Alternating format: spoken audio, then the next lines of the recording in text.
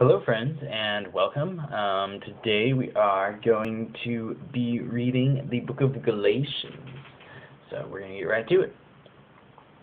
Galatians chapter 1. Um, Galatians was actually written by Paul. Um, the purpose of the book of Galatians is to contradict the Judaizers. Um, they taught that Gal Gentile believers must obey the Jewish law in order to be saved. Um, so this book was written to contradict contradict them, and to remind Christians about faith and freedom in Christ.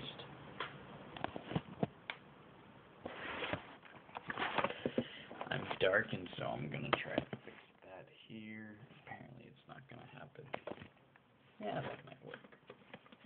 Cool. Okay, Galatians chapter 1. This letter is from Paul, an apostle. I was not appointed by any group of people or any human authority, but by Jesus Christ himself and by God the Father who raised Jesus from the dead.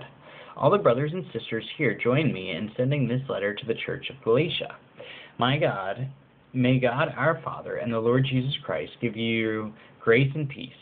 Jesus gave his life for our sins, just as God our Father planned, in order to rescue us from this evil work in which we live. All glory to God forever and ever. Amen. I am shocked that you are turning away so soon from God, who called you to himself throughout through the loving mercy of Christ. You are following a different way than that pretends to be the good news, but is not the good news at all. You are being fooled by those who deliberately twist the truth concerning Christ. Let God curse fall on anyone, including us, or even an angel from heaven, who preaches any who preaches a different kind of good news than the one we preach to you. I say again that what we have said before, if anyone preaches any other gospel than the one you welcomed, let that person be cursed. Obviously, I am not trying to win the approval of people, but God. If pleasing people were my goal, I would not be Christ's servant. Dear brothers and sisters, I want you to understand that the gospel message I preach is not based on mere human reasoning. I received my message from no human source, and no one taught me. Instead, I received it by direct revelation from Jesus Christ. You know what I was like when I followed the Jewish tradition, how I violently persecuted God's church. I did my best to destroy it. I was far ahead of my fellow Jews in my zeal for the traditions of my ancestors. But even before I was born, God chose me and called me by his marvelous grace. Then it pleased him to reveal his Son to me, so that I would proclaim the good news about Jesus to the Gentiles. When this happened, I did not rush out to consult any human being, nor did I go up to Jerusalem to consult with those who were apostles before I was. Instead, I went away into Arabia, and later I returned to the city of Damascus. Then, three years later, I went to Jerusalem to get to know Peter and I stayed with him for fifteen days. The only other apostle I met at that time was James, the Lord's brother. I declare before God that what I am writing to you is not a lie. After that visit, I went north into the province of Syria and Cilicia, and still the Christians in the churches in Judea didn't know me personally.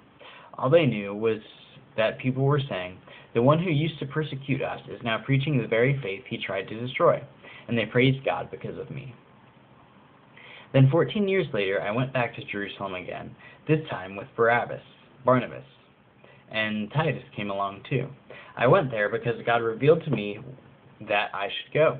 While I was there, I met privately with those considered to be leaders in the church and shared with them the message I had been preaching to the Gentiles. I wanted to make sure that we were in agreement, for fear that all my efforts had been wasted and I was running the race for nothing. And they supported me and did not even command that my companion Titus be circumcised, though he was a Gentile? Even that question came up even that question came up only because of some so-called Christians there, false ones really, who were secretly brought in. They sneaked in to spy on us and take away the freedom we have in Christ Jesus. They wanted to enslave us and force us to follow their Jewish regulations, but we refused to give in to them for a single moment. We wanted to preserve the truth of the gospel message for you. And the leaders of the church had nothing to add to what I was preaching. By the way, their reputation as great leaders made no difference to me, for God has no favorites. Um, instead, they saw that God had given me the responsibility of preaching the gospel to the Gentiles, just as he had given Peter the responsibility of preaching to the Jews. For the same God who worked through Peter as the apostle to the Jews also worked through me as the apostle to the Gentiles. In fact, James, Peter, and John, who were known as pillars of the church, recognized the gift God had given me, and they accepted Barnabas and me as their co workers. They encouraged us to keep preaching to the workers. They encouraged us to keep reaching to the Gentiles, while they continued their work with the Jews. Their only suggestion that was that we keep on helping the poor, which I have always been eager to do. But when Peter came to Antioch, I had to, I had to oppose him to his face, for what he did was very wrong. When he first arrived, he ate with the Gentile Christians, who were not circumcised. But afterwards, when some friends of James came, Peter wouldn't eat with the Gentiles anymore. He was afraid of criticism from those people who insisted on the, necess- on the necessity of circumcision. As a result, other Jewish Christians followed Peter's hypocrisy, and even Barnabas was led astray by their hypocrisy. When I saw that they were not following the truth of the gospel message, I said to Peter in front of all the others, Since you, a Jew by birth, have discarded the Jewish law and are living like a Gentile, why are you now trying to make these Gentiles follow the Jewish traditions? You and I are Jews by birth, not sinners like the Gentiles. Yet we know that a person is made right with God by faith in Jesus Christ, not by obeying the law. And we have believed in Christ Jesus so that we might be made right with God because of our faith in Christ, not because we have obeyed the law. For no one will ever be able to make right with God by obeying the law. But suppose we seek to make to be made right with God through faith in Christ, and then we have fa- we are found guilty because we have abandoned the law. Would that mean Christ has led us into sin? Absolutely not. Rather, I am a sinner if I rebuild the old system of law I already tore down. For when I tried to keep the law, it condemned me. So I tried so I died to the law. I stopped trying to meet all its requirements so that I might live for God. My old self has been circum has been crucified with Christ. It is no longer I who live, but Christ who lives in me. So live in this earthly body so I live in this earthly body by trusting in the Son of God, who loved me and gave himself for me.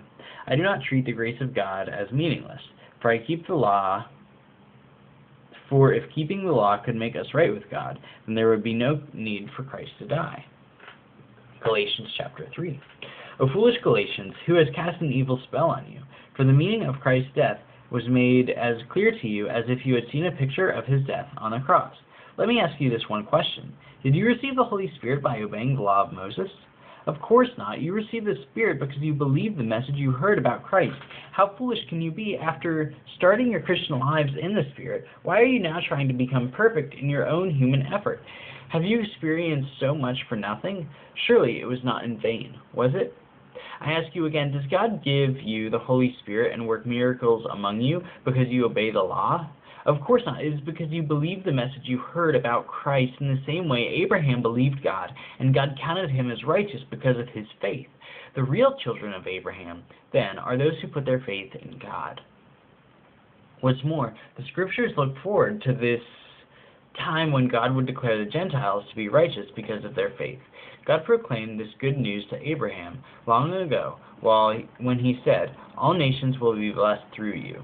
So all who put their faith in Christ share the same blessing Abraham received because of his faith. But those who depend on the law to make them right with God are under his curse. For the scriptures say, Cursed is everyone who does not observe and obey all the commands that are written in God's book of the law. So it is clear that no one can be made right with God by trying to keep the law. For the scriptures say, It is through faith that a righteous person has life. This way of faith is very different from the way of law, which says, It is through opening the law that a person has life. But Christ has rescued us from the curse pronounced by the law. When he was hung on the cross, he took upon himself the curse for our wrongdoing. For it is written in the Scriptures, Cursed is everyone who is hung on a tree. Through Christ Jesus, God has blessed the Gentiles with the same blessing he promised to Abraham, so that we who are believers might receive the promised Holy Spirit through faith. Dear brothers and sisters, here's an example from everyday life. Just as no one can set aside or amend an irrevocable agreement, so it is in this case.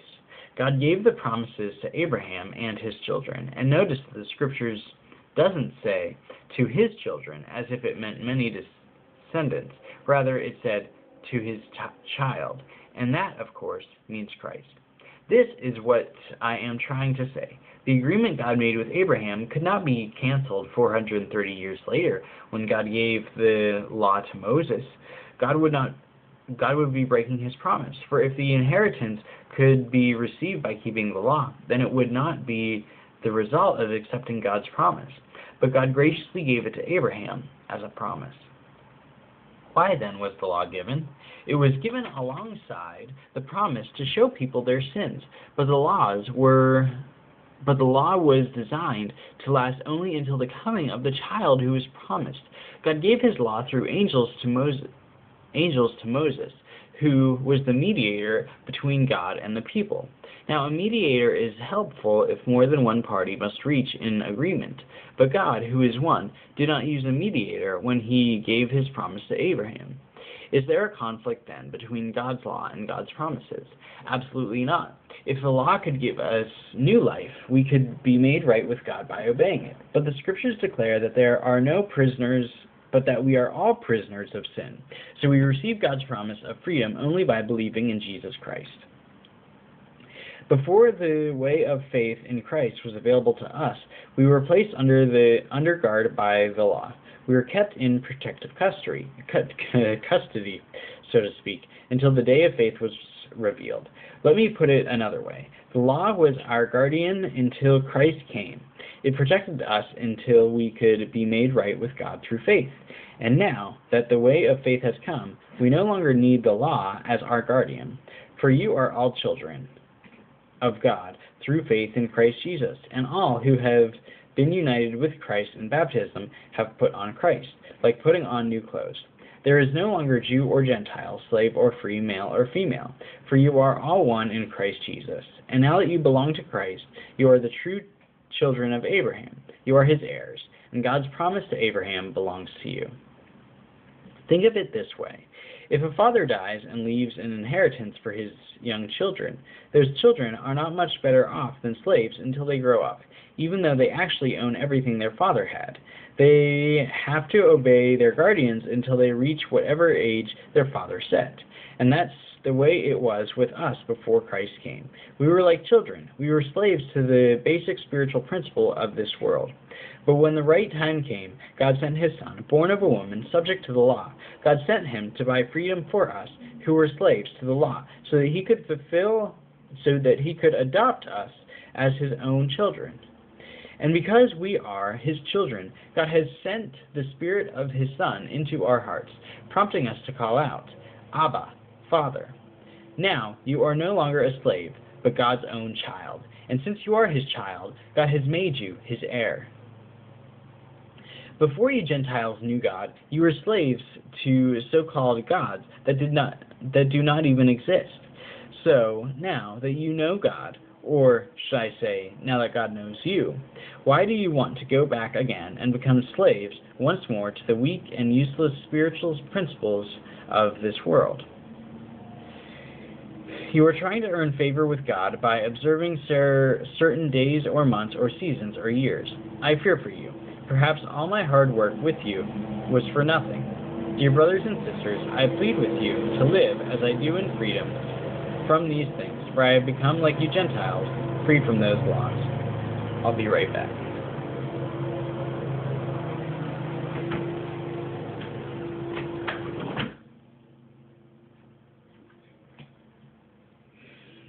All right, picking up in Galatians 4, the second part of 12. You did not miss treat me when I first preached to you.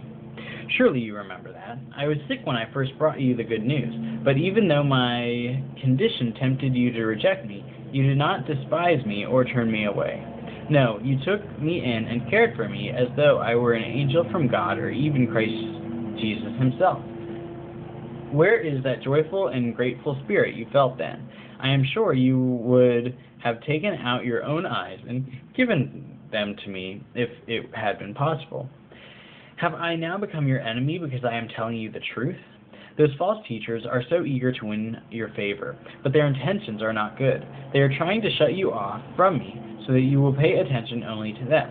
If someone is eager to do good things for you, that's all right, but let them do it all the time, not just when I'm with you.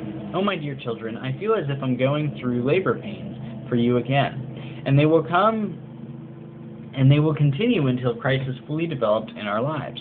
I wish I were, were with you right now so I could change my tone, but at this distance, I don't know how else to help you. Tell me, you who want to live under the law, do you know what the law actually says? The scriptures say that Abraham had two sons, one from his slave wife and one from his freeborn wife. The wife of the slave wife, the son of the slave wife, was born in a human attempt to bring about the fulfillment of God's promise.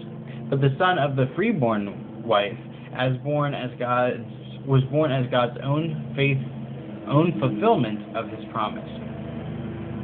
These two women serve as an illustration of God's two covenants. The first woman, Hagar, represents Mount Sinai, where people received the law that enslaved them. And now, Jerusalem is like Mount Sinai in Arabia, because she and her child live in slavery to the law. But the other woman, Sarah, represents heavenly Jerusalem. She is the free woman, and she is our mother. As Isaiah said, Rejoice, O childless woman, you who have never given birth. Break into a joyful shout, you who have never been in labor. For the desolate woman now has more children than the woman who lives with her husband. And you, dear brothers and sisters, are children of the promise just like Isaac. But you are now being persecuted by those who want you to keep the law, just as Ishmael, the child born of human effort, persecuted Isaac, the child born by the power of the Spirit. But what do the scriptures say about that? Get rid of the slave and her son, for the slave for the son of the slave woman will not share the inheritance with a free woman's son. So do our brothers and sisters, we are not children of the slave woman, we are children of the free woman. Chapter 5 of Galatians. So Christ has truly set us free. Now, make sure that you stay free, and don't get tied up again in slavery to the law. Listen, I, Paul, tell you this. If you are counting on circumcision to make you right with God, then Christ will be of no benefit to you. I will say it again. If you are trying to find favor with God by being circumcised, you must obey every regulation in the whole law of Moses. For if you are trying to make yourselves right with God by keeping the law, you have been cut off from Christ. You have fallen away from God's grace. But we who live by the Spirit eagerly wait, wait to receive by faith the righteous God has promised to us the righteousness God has promised to us. For when we place our faith in Christ Jesus, there is no benefit in become, being circumcised or uncircumcised. What is important is faith expressed is faith expressing itself in love.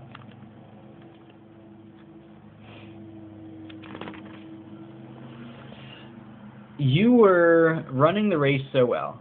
Who had held you back from following the truth? It certainly isn't God, for He is the one who called you to freedom. This false teaching is like a yet little yeast that spreads throughout the whole batch of dough. I am trusting the Lord to keep you from believing false teachings.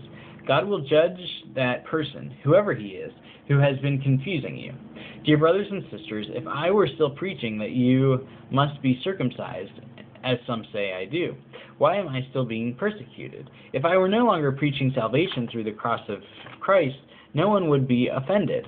I just wish that those troublemakers who want to manipulate you by circumcision would mutilate themselves. For you have been called to live in freedom, my brothers and sisters.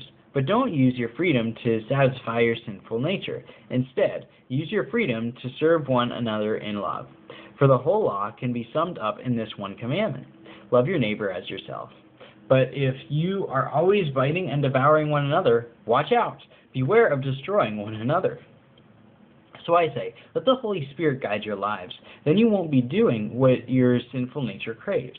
The sinful nature wants to do evil, which is just the opposite of what the Spirit wants. And the Spirit gives us desires that are the opposite of what the sinful nature desires.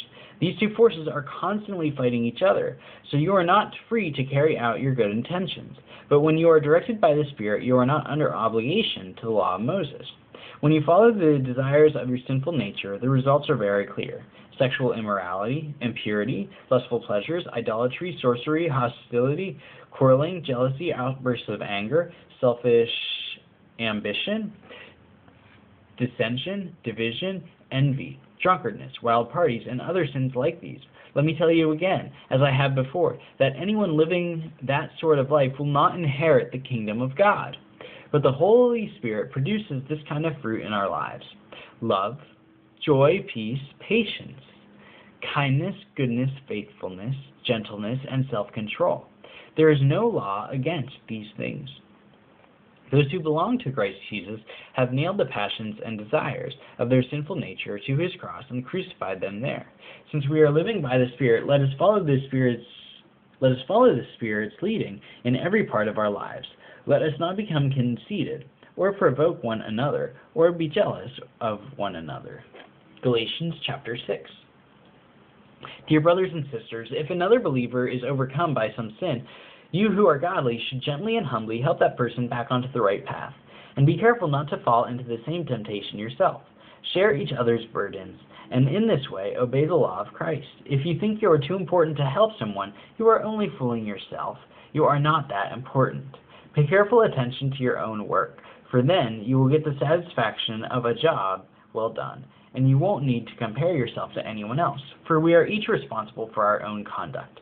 Those who are taught the Word of God should provide for their teachers, sharing all good things with them. Don't be misled. You cannot mock the justice of God. You will always harvest what you plant. Those who live only to satisfy their own sinful nature will harvest decay and death from that sinful nature. But those who live to please the Spirit will harvest everlasting life from the Spirit. So let's not get tired of doing what is good. At just the right time, we will reap a harvest of blessing if we don't give up. Therefore, whenever we have the opportunity, we should do good to everyone, especially to those in the family of faith. Notice what, notice what large letters I use as I write these closing words in my own handwriting. Those who are trying to force you to be circumcised want to look good to others. They don't want to be persecuted for teaching that the cross of Christ alone can save. And even those who advocate circumcis- circumcision don't keep the whole law themselves. They only want you to be circumcised so they can boast about it and claim you as their disciples. As for me, may I never boast about anything except the cross of our Lord Jesus Christ. Because of that cross, my interest in this world has been crucified, and the world's interest in me has also died. It doesn't matter whether we have been circumcised or not. What counts is whether we have been transformed into a new creation. May God's peace and mercy be upon all who live by this principle. They are the new people of God. From now on, don't let anyone trouble me with these things, for I bear on my body the scars that show I belong to Jesus. Dear brothers and sisters, may the grace of our Lord Jesus Christ be with your spirit. Amen.